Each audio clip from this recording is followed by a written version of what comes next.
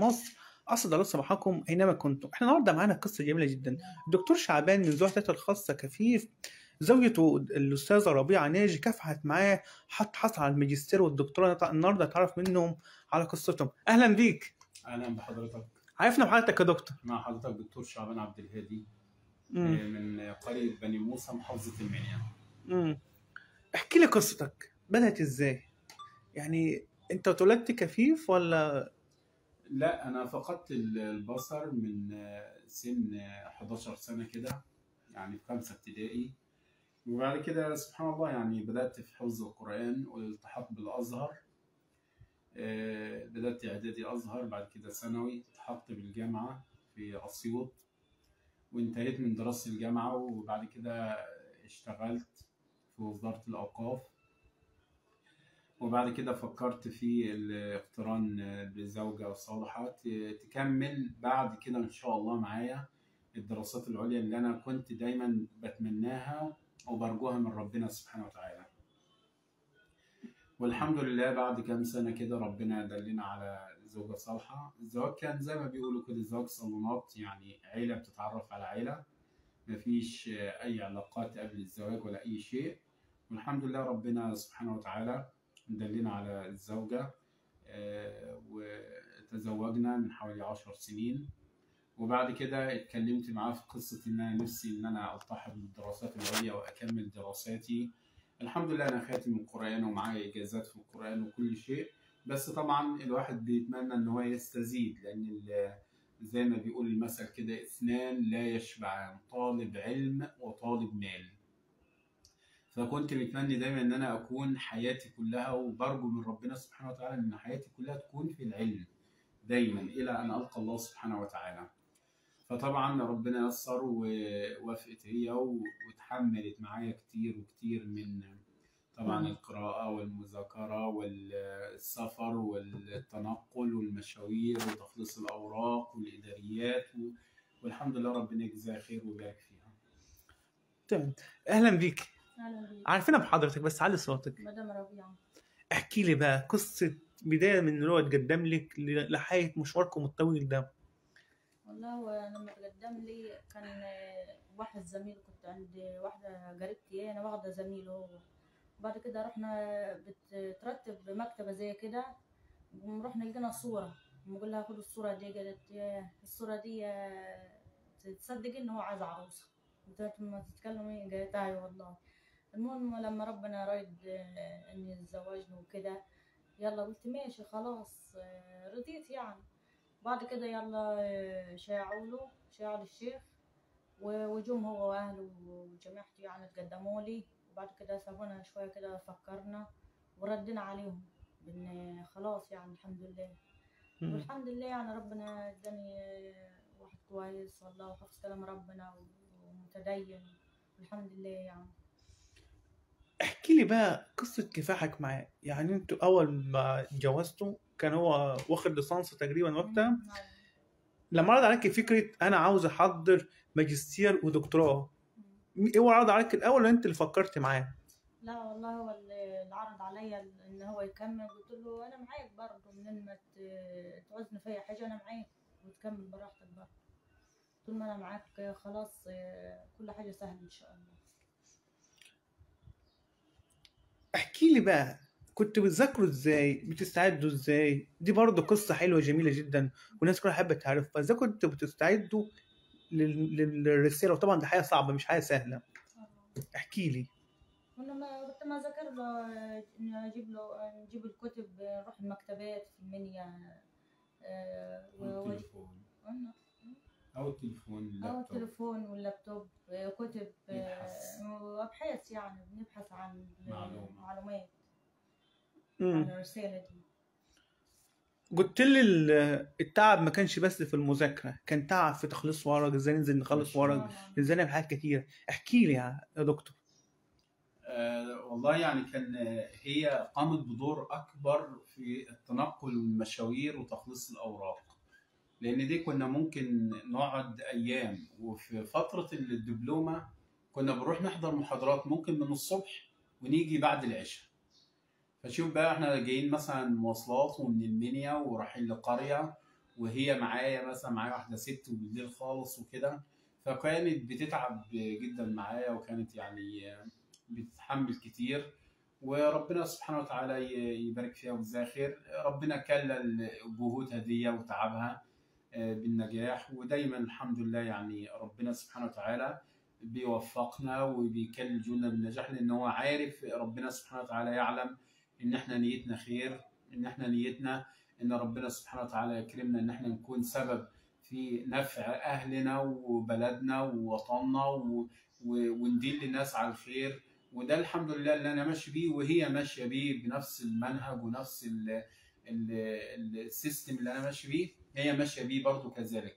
إن إحنا دايما بنحاول إن إحنا ننشر الإصلاح بنحاول دايما ندل على الخير بنحاول دايما, نوفق بنحاول دايما نجمع ولا نفرق نبني ولا نهدم نصلح ولا نفسد. كل الصفات دي الحمد لله العلم علمنا كده وعرفنا كده ونور بصيرتنا بكده وهي الحمد لله بتحاول معايا وربنا يبارك فيها يا رب. لما كان بيحصل على الماجستير أو الدكتوراه كنت بتحس بيه؟ فرحة طبعا كنت فرحانين ومبهورة بيه. والحمد لله يعني ربنا يوفقه دايما يا رب إن شاء الله. حسيت إن كفاحك وتعبك كل ده اتعوض في ال- اللي هو بيحقق النتيجه اللي أنتوا عاوزينها؟ يعني احكي لي عن الشعور وال... واللوكات دي أيوة الواحد كان فرحان والله والحمد لله. كويس يعني.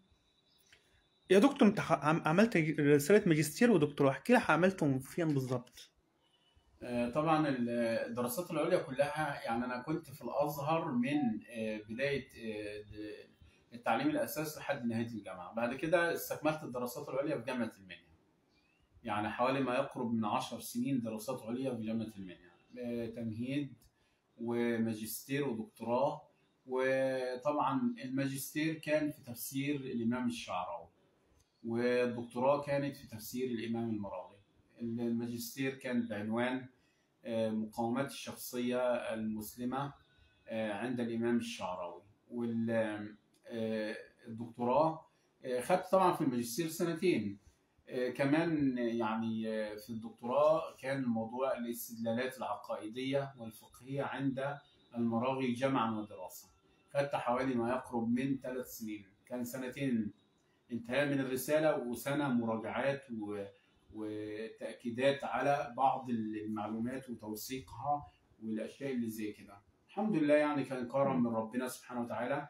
كل ما الإنسان بيزداد علم كل ما بيزداد حب للناس كل ما بيزداد مودة كل ما بيزداد آه، آه، يعني آه، تواضع كل ما بيزداد مثلا ألفة احترام وتقدير للناس كل ما بيحس إن هو لسه ما اتعلمش. يعني كل ما يزداد علم كل ما بيحس إن هو مش عارف أي حاجة لأن طبعا هو يعتبر خد قطره من بحر. شوف إزاي. فطبعا بنصح كل الشباب وكل السادة المشاهدين اللي يشاهدونا إن إحنا دايما نهتم بالعلم نربي أولادنا على محبة العلم لأن البلاد ووطننا الحبيب مش هيتقدم غير بالعلم وغير بالعلماء. بعيد عن الدراسة أنت بتقول لي أنا بحب الرياضة بحب الزمالك وأتفرج على الكورة. هل برضو المدام لا توجهات رياضية؟ أكيد بتقعد تشرح لك الماتش. صح؟ بيحصل؟ لا لا ما تشرح ماليش في الكورة خالص. آه. هي ممكن يعني اللمسات يعني إيه؟ مثلا تبين لي مثلا فرحة الزمالك. آه، فرحة الزمالك. على فكرة أنا عاوز أوصل معلومة لكل السادة المشاهدين إن أنا على فكرة أنا بحب الزمالك اولا وبحب ال- الأهلي والإسماعيلي وال- والمصري الأندية الجماهيرية. آه الأندية الجماهيرية. وعلى فكرة أنا بناشد الدولة. وبناشد آه، وزير الشباب والرياضة. ان إحنا دايما نهتم بالأندية الشعبية دي. الأندية الشعبية هي متعتها في كده. إن أنا معايا مثلا أستاذ كلينتون أهلاوي فبضحك أنا وهو. مش عصبية دي رياضة أخلاق. ان إحنا بنضحك مع بعضينا ان إحنا بنهزر مع بعضينا. أزعل جدا لما ألاقي الأهلي مش كويس. لأن الأهلي لو كويس والزمالك خد منه بطولة بتبقى متعة. هي البطولة دي الحقيقية. يعني كذلك الزمالك لو كويس والأهلي خد منه بطولة كز- يعني هي هو ده الجمال. طيب. يعني لكن إحنا بنتمنى الزمالك يغلب على طول إن شاء الله. بتحكي بتوصفوا لي إزاي شعور مثلا فوز الزمالك ببطولة أو ايا كان؟ يعني مش بتحب الكورة. لا ما بحبش الكورة خالص. بس هي بتفرح هي بتفرح مثلا بتفرح ل لما مثلا إيه تلاقيني إن أنا فرحان إن الزمالك غلب. يبقى انت زملكاوية زيي. يعني. ماشية. لا ماشية بين البيت أي حاجة تسعد وأنت معاه. آه. زي كده. وهي كمان مثلا ممكن توصف لي مثلا شعور الجماهير مثلا في الاستاد لأن طبعا في معلقين بيبقوا أسلوبهم كويس بيوصلوا لك كل ال- كل المعلومات والحاجات اللي زي كده. بس طبعا بتكون إيه يعني أنا واخد الكورة مثلا أو الرياضة من باب الترفيه. الترفيه. آه إن أنا مثلا ببدأ يومي من الصبح لحد بالليل في قراءات في دراسات في مثلا آه، مثلا مسائل علمية. ناس بتيجي تسألني ناس بتقابلني بتتصل بيا أسئلة على طول في العلم. فأنت مثلا بتلاقي الفرصة دي مثلا إن أنت بتقعد نص ساعة كده فبتشوف مثلا الدنيا أخبار الزمالك إيه أخبار ال- الكوره إيه أخبار مثلا مصر إيه بس كده من باب الترفيه آه ترفيه مثلا إن أنت إيه صح. ب- بتوا- تلاقي وقت كده بتضحك مع زمايلك مثلا وأحبائك زي حضراتكم كده إن إحنا بنضحك مع بعضينا برضه الوقت بحيث إن إحنا إيه ناخد يعني استراحة كده ونرجع برضه لشغلنا الأساسي. قلت لي نفسي يتعين في الجامعة. حلمك وامنيه حياتك. تمام. آه قلت لي برضو حلم حياتي ان أنا ادرس للطلاب. طبعا.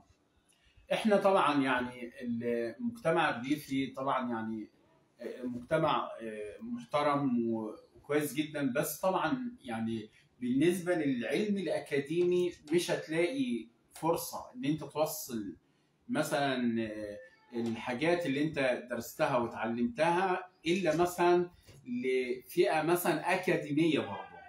لأن الناس مثلا في المجتمعات الريفية عايزة حكاوي عايزة مثلا دردشة عايزة قصص عايزة حاجات زي كده. لكن مثلا كعلم ومثلا إن أنت تطلع من تحت إيدك مثلا علماء أو أساتذة أو ناس مفكرين أو ناس تربويين يغيروا شكل البلد ويتقدموا ويزدهروا بالبلد مش هيكون الله في المؤسسات الأكاديمية اللي هي الجامعات مثلا زي كده. صح. إن أنت طبعا هي دي الحاجة اللي أنت تطلع ناس تغير ال ال الوجه الحضاري لمجتمعك ولبلدك و- و- وتزدهر تزدهر بيها وتتقدم بيها وهكذا يعني. يعني أنت عاوز تخدم بلدك عن طريق الحاجة أنت بتحبها واللي أنت مجتهد فيها. آه طبعا يعني بتمنى إن أنا مثلا أنا شايف مثلا يعني كظاهرة مثلا إحنا بنواجهها في الأيام الأخيرة اللي هي مثلا التعصب أو التطرف أو الكلام دوت. فلما تكون أنت مع مجتمع مثلا علمي ال- الشباب اللي هيكونوا في الجامعة دول هيطلعوا بعد كده اللي هيكون مثلا محامي اللي هيكون مثلا مدرس اللي هيكون مثلا مهندس اللي هيكون كذا كذا. لما أنت تعلمه إن ال- الدين إزاي تعلمه مثلا التعامل إزاي؟ نديني المعاملة تعلمه الأمانة تعلمه الضمير تعلمه مثلا ال- ال- التعاون تع- تعلمه مثلا الخوف على الآخرين. كل ده كده، فانت يفيده. بتطلع شخص بيكون نافع لأهله. نافع لوطنه مش خطر على أهله وخطر على وطنه. تمام. في النهايه بنشكركم ونتمنى لكم التوفيق. أنتوا قصة جميلة جدا قصة بمعنى الحب يصنع المستحيل. شكرا ليك وشرفتونا والله وربنا يبارك فيكم ويجزيكم خير إن شاء الله وأسعدتونا النهارده والله. ربنا يخليك. يومكم جميل. في نهايه لقاء اعزائي مشاهدي ومتابعي موقع جيد أهل مصر نشكركم شكرا جزيلا على حسن الاستماع.